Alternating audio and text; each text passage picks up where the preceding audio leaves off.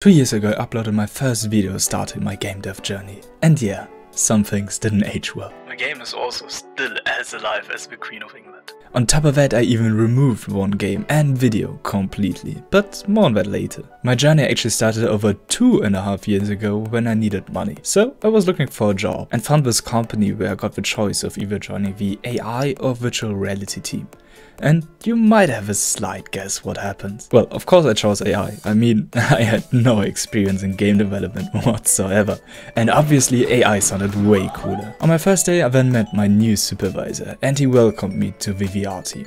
Wait, what? Well... in hindsight, I probably didn't make my choice clear enough about which team I wanted to join, but uh, this is how I accidentally became a solo game developer. They used this game engine called Unity, and through this guy called Brackeys and his tutorials, I quickly learned the basics of game development. I didn't have any special mentoring or anything, so I was producing spaghetti code so bad that even the Italians would be offended. While working there I created my first game. I obviously can't really go into detail, but basically I got a very old VR project and was tasked to upgrade it to the newest Unity version. Fast forwarding a few months, I left the company and wanted to make my very own first game. When you look at any beginner's guide, they always tell you when you're first starting out, you need to keep your expectations realistic. Think of your first game as a learning exercise, not your masterwork. Your first game should be your crap game. So then started working on a small city building game. I always loved city building games like Cities Skylines, but as a casual player I felt pretty bored after like 10 hours with nothing new happening anymore. Meanwhile I also loved watching videos from other YouTubers like RT Game, where they just destroyed the world and mess with their people. So inspired by that I wanted to make a city builder where your choices directly impact the world and people of your city. I very quickly learned that this would not be a small project, but technically my first game was in VR, so what could stop me at this point?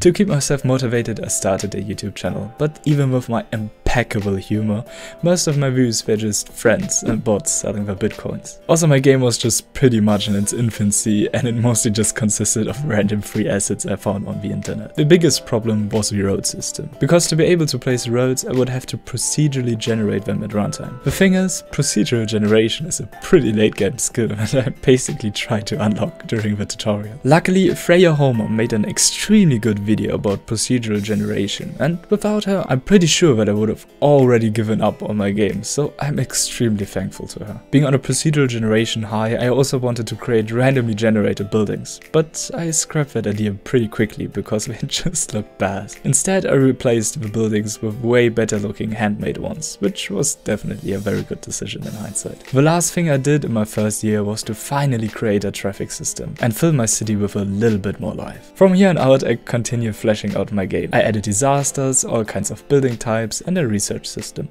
I also created a Steam page so that people can wishlist my game early on, which is extremely important for small indie developers like me. But in the two years I also created several other little games, including my most recent one, which I later hid from the public. The first project was Minecraft, but with physics. I'm pretty original, I know, but I wanted to upload something different, because most people probably won't search for some unknown game on YouTube. And well, I had a lot of fun playing around with physics, but the game, if you can even call it that, was pretty boring and you could basically just jump around and pick up blocks. The next game I made was basically just a shitpost about the terrible state of Cyberpunk's AI, and to this day I can still proudly say that my AI was better than Cyberpunk's. Then I was invited to my first and to this day only game jam, where each of us proposed a theme, and instead of just picking one, we just fused them all together. I made a little game called Cacti Defender, where cacti tried to take your balloons. It was probably the most productive time I had for a while, and I was really happy with the results. But you see, for me game jams are like Tinder. You have fun imagining what it could become and start new projects, but in the end, you still have no game. What I want to say with this is that game jams are fun every now and then, but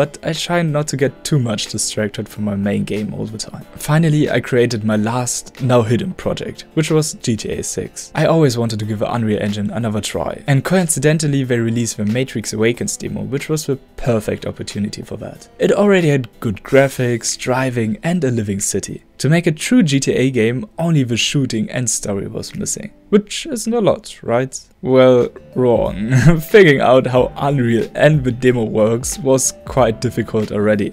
But on top of that, I had countless random bugs, and the Unreal documentation wasn't really helpful. This resulted in me being extremely frustrated the whole time, but sunk cost fallacy got the better of me and I just tried to push through to make a new video. But all that frustration kinda resulted in a not so good video, so I decided to unlist it. But if you really want to check it out, the link probably still exists somewhere on my Discord channel. This brings us to today, where I'm still working on a demo for City Worlds and continue to add all the little things that are still missing. Will I ever make other side projects in the future after my last failure? Maybe, there's only one way to find out.